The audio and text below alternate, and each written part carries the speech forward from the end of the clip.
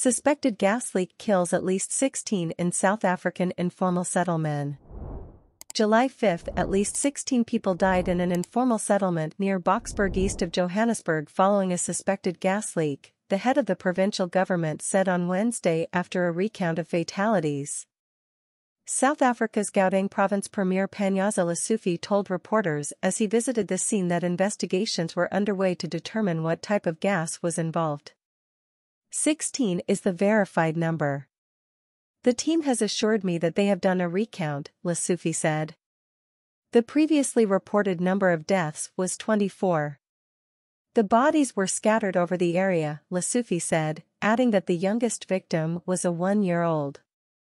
It's not a nice scene at all, it's not a nice scene. It's painful, emotionally draining and tragic, the premier said. Broadcaster SABC earlier quoted a spokesperson for the Disaster and Emergency Management Services as saying there were 24 fatalities. South African media reported that the gas leak could have been linked to suspected illegal mining activities.